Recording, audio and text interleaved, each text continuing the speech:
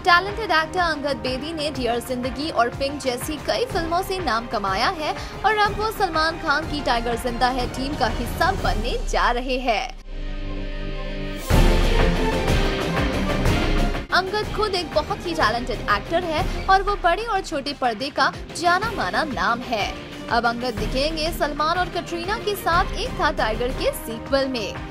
Tiger ज़िंदा है कि ऑस्ट्रिया स्केड्यूल में कुछ high octane action sequences shoot हुए हैं और अब फ़िल्म का अगला स्केड्यूल दुबई अबू धाबी और मोरक्को में होगा।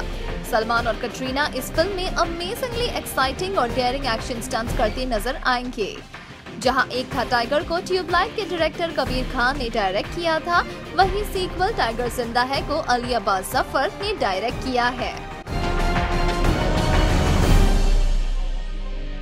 सलमान की दोनों फ़िल्में 2017 में रिलीज़ होगी ट्यूबलाइट को मिला है ईद पर जून का स्लॉट और टाइगर ज़िंदा है दिसंबर में रिलीज़ होगी तो 2017 सलमान के लिए सेट ही होगा, है ना?